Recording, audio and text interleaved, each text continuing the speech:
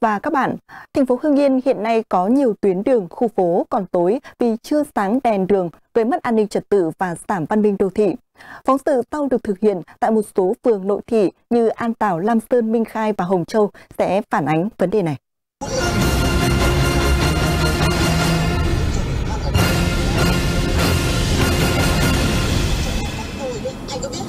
Quý vị và các bạn đang theo dõi những hình ảnh được ông kính phóng viên ghi lại lúc 19 giờ ngày 3 tháng 9 vừa qua trên đường Trần Hưng Đạo, khu phố An Bình, phường An Tảo, thành phố Hưng Yên.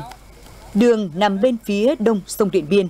Đoạn đường này có dân cư sinh sống trải dài khoảng 1,4 km. Ảnh hưởng đến các người đâu Nào thì tôi làm gì nào, cô nói đi xem nào. Tôi làm gì nào, tôi chỉ có 4 đến 5 đèn cao áp được bố trí ở đầu hai cầu bắc qua sông và ở khu vực có ngã ba, ngã tư, nên cảnh tu mù, thiếu ánh sáng đèn, cộng thêm cây cối um tùm. Đường thì chưa trải nhựa, nên buổi tối nơi đây như một vùng quê hẻo lánh.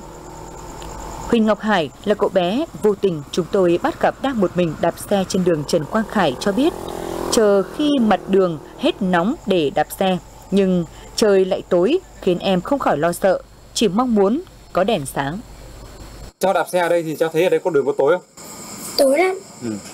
cháu rất muốn đường nó sáng lên bà Thái Thị Thược khu tập thể Nông Lâm phường Minh Khai thành phố Hưng Yên cho biết trong khu có hai đèn cao áp thì một đã hỏng cách đây một năm đèn còn lại hỏng cách đây 3 tháng nhưng vẫn chưa được sửa chữa mặc dù khu dân cư đã đề nghị nhiều lần Chúng tôi ở khu tập thể Long Lâm này thì là một bóng là bị cháy một năm nay rồi. Bóng thứ hai bị xét đánh thì là ừ, hai bóng cùng là hỏng cả. Thế cả khu phố chúng tôi là tối mù mịt. Đường Phương Độ với điểm đầu là đường Mậu Dương và điểm cuối là đường Lê Đình Kiên, dài gần 1 km. Hiện cứ 3 đèn thì chỉ một đèn sáng. Nếu theo khoảng cách giữa các đèn là 35 m trên một đèn thì đáng lẽ phải có 46 đèn cao áp được bật sáng dọc hai bên đường nhưng theo quan sát trong tối ngày 27 tháng 8, hiện chưa đến 1 phần 3 đèn sáng thậm chí có đèn nằm ở vị trí ngã ba cũng không được bật sáng nên đường xá tù mù không nhìn rõ mặt đường. Bóng tối là điều kiện cho kẻ gian thực hiện các hành vi mờ ám bao gồm cả hành vi trộm cắp tài sản.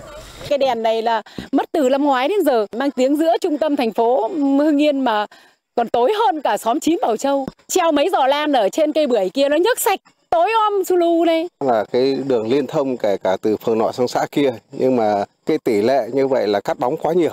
Nhiều cái điểm ngã ba, ngã tư là lại thiếu ánh sáng thì chúng tôi đề nghị với thành phố là quan tâm tới phường Châu và quan tâm tới khu phố Hồng Độ. Cũng trong buổi tối ngày 27 tháng 8, trên địa bàn phường Hồng Châu đã xảy ra vụ cướp giật túi sách tại đường Mậu Dương. Các người dân tại đây cho biết thì kẻ cướp vừa thực hiện xong vụ cướp và tẩu thoát khỏi hiện trường.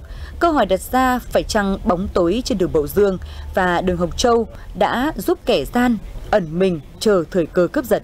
Được biết, công ty cổ phần môi trường và công trình đô thị Hưng Yên đã quản lý vận hành 8.700 đèn chiếu sáng công cộng. Công ty thực hiện nguyên tắc một năm hai lần giả soát, nâng cấp và sửa chữa lớn đối với thiết bị chiếu sáng công cộng. Theo đó, nhân viên phụ trách tuyến lên danh sách báo cáo công ty tổng hợp xây dựng dự toán báo cáo tiếp lên Ủy ban nhân dân thành phố phê duyệt. Ông Nguyễn Quốc Khánh, trưởng phòng quản lý đô thị thành phố Hưng Yên cho biết, phòng trực tiếp thẩm định các tờ trình kiến nghị sửa chữa thay thế nên thông thường sau một tuần sẽ có quyết định sửa chữa thay thế hay không. Như vậy đối với sửa chữa lớn thiết bị chiếu sáng đang là vấn đề bởi chưa rõ bao nhiêu đèn hỏng thì là sửa chữa lớn, phải chăng do cơ chế vận hành sửa chữa của thành phố Hưng Yên đã dẫn đến chậm sửa chữa đèn chiếu sáng công cộng. Kính thưa quý vị, được biết hiện nay công ty cổ phần môi trường và công trình đô thị được cấp 7 tỷ đồng trên một năm để phục vụ chiếu sáng công cộng. Những tuyến đường con phố chúng tôi nêu chỉ dừng lại ở 4 trên 7 phường nội thị và phản ánh chưa đầy đủ các khu phố tuyến đường còn tối. Câu hỏi đang được người dân thành phố đặt ra, liệu có thiếu tiền hay vì một lý do nào khác khiến nhiều tuyến phố, tuyến đường thiếu ánh sáng khi tối trời, trong khi thành phố đang xây dựng lên đô thị loại 2 văn minh hiện đại.